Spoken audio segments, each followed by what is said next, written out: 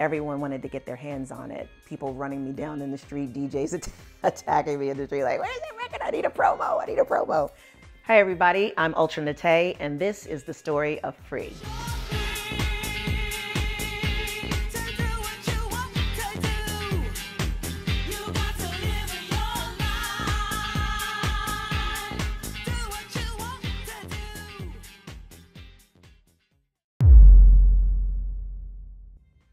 I was really just a kid that just graduated from high school.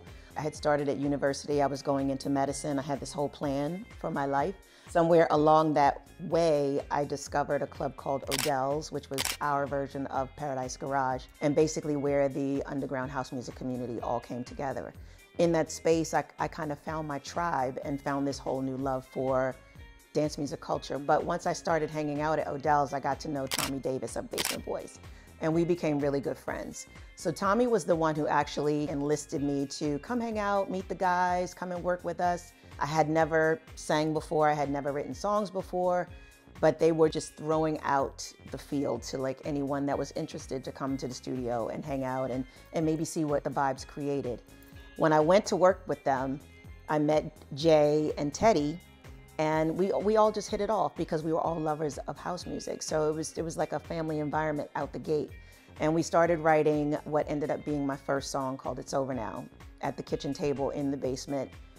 And I wrote about what I felt at that moment, which was my first real heartbreak moment from my first real relationship. So it was, it's over now. No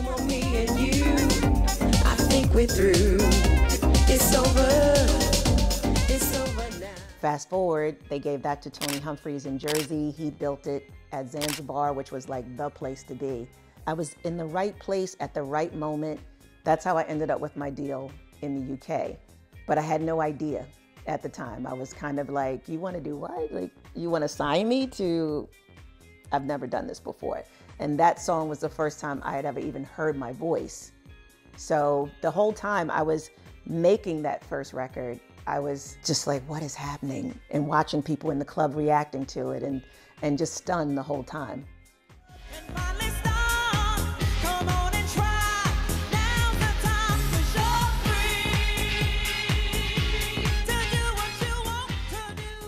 By the time I was dropped from Warner in 94, well, I had to come to the crossroads, and myself and my manager Bill, we kind of had a come to Jesus moment to decide if I was going to continue in the music business or if I was going to now go back into my studies for medicine.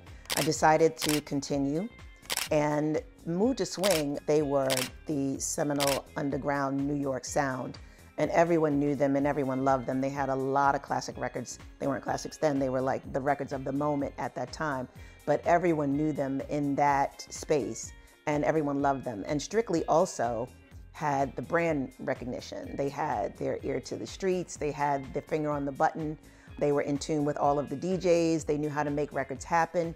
So it was really Gladys Pizarro during that period between 94 and 96 that kept coming back to us like, I really want to do a deal with you guys. I really want to sign you, really want to do a 12 inch deal. Whatever you come up with, like, let's just do something.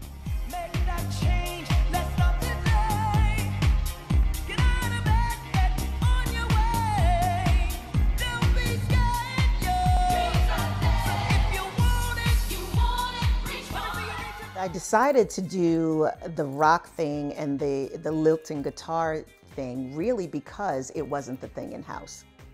That's generally like how I think, is to go against the grain. Um, especially at that time when I felt like I had absolutely nothing to lose. So you're either going to fly or you're going to sink, and you've got to be willing to take that risk. And that was my headspace at the time.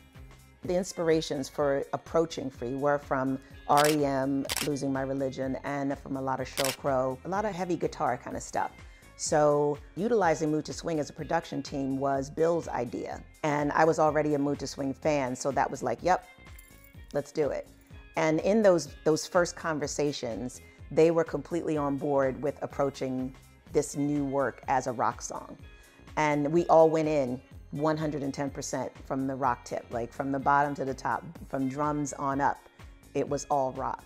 We didn't decide until after Free was done to then put the Mood II Swing signature groove in there. That's what made it work in both worlds. But it needed to be something that was going to be a statement that you either loved it or you hated it. Like that's what the industry needed to feel at that moment.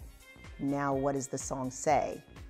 And Lem was the one who was like, I don't know, it just needs to be like, you're just like screaming, free. Now, how that was going to translate and be sung, so now I actually wrote free twice.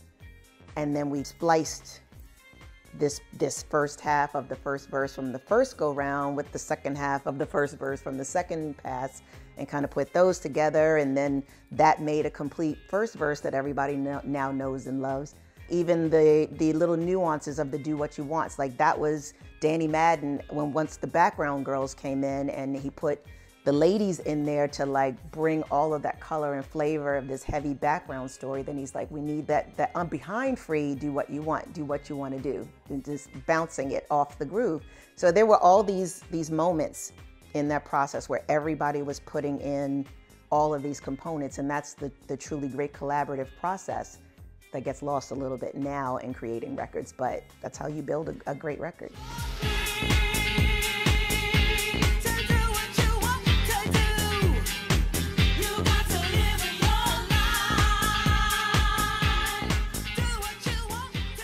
We felt like we made something that was a standalone, but we had no idea if anyone would like it besides us in the studio, really.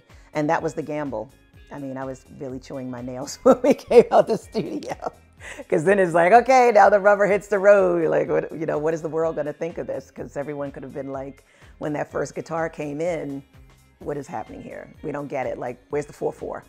The first time I heard it in the club was uh, Winter Music Conference that year in 97. As soon as we got to the beach, there was already energy around it. Strictly had sent out their test pressings, and I think it was a red vinyl at that time, which was very special.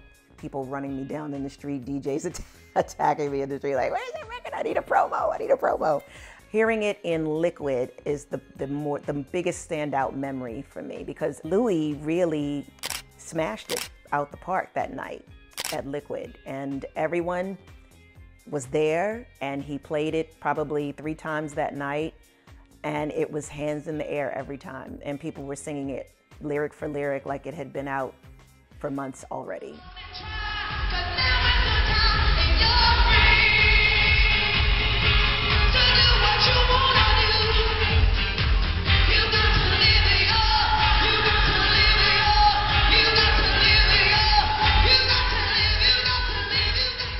So the video was actually directed and produced by Worlds of Wonder. It was their concept of it being more irony than your standard dance music video where everybody's in the club, hands in the air, you know, the DJ and, and the singer. And it was the sterile lack of freedom in the video. The song speaks to breaking free of that and fighting against that and fighting against those norms. So all of those, those references are more metaphorical than anything you know, some people loved it, some people hated it, but at least they talked about it.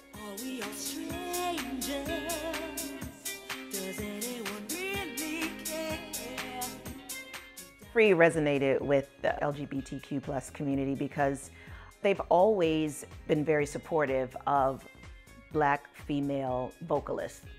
They've always been a supporter of my career from the beginning, really. I, before I even got a record deal, it was my Black Queens in Baltimore that prepared me for being able to make that transition from club kid to suddenly being on stage. Also in the messaging of the song, it's a fight song, it's a song of empowerment, it's a, it's a song of love, it's a song of breaking through boundaries and, and, and many different things can be, it can be applied in so many different ways. And so for many marginalized communities, the song is anthemic and tells their story. And I think they felt seen and they felt heard and it just automatically became the story of prides around the world for many, many years and still counting.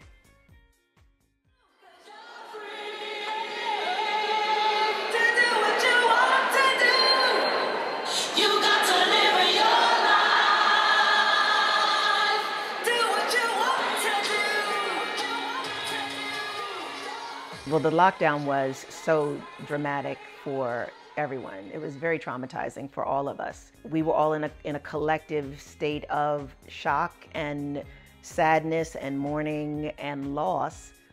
that a song like Free would naturally be something people would attach themselves to again in a new way because they needed that anchor. They needed that thing that that gave them some kind of light, some kind of hope. And and it spoke to people in such a way that made them feel no longer isolated from each other. When things opened back up, Free was the song that people screamed in each other's faces in the club, like, oh my God, I can't believe we're, we're once again, you know, enjoying each other's energy. Obviously, we always want as many people as possible to hear our music because that's why we're doing it. You know, I don't do this as a hobby. I do this for the love, but it's also an industry and it's also my business. And I also do it because it's art and that art feeds people and that art is important and it shapes culture. So I feel like I'm living in my purpose. I've had people that I've never met before come up to me and say, Your song so and so saved my life. And it spoke to me. It made me feel valuable. It made me feel seen. It made me feel loved. It made me feel like there's another opportunity, there's another chance. That's where the value is. We all want the club charts. We all want to sell a lot of records or get a lot of streams or whatever that is supposed to be these days. But at the end of the day, for me, what's most important is when it's all said and done, the body of work that I've left behind and that I can stand on and it will stand the test of time. And people will hear those songs into perpetuity and say, that's a great song right there.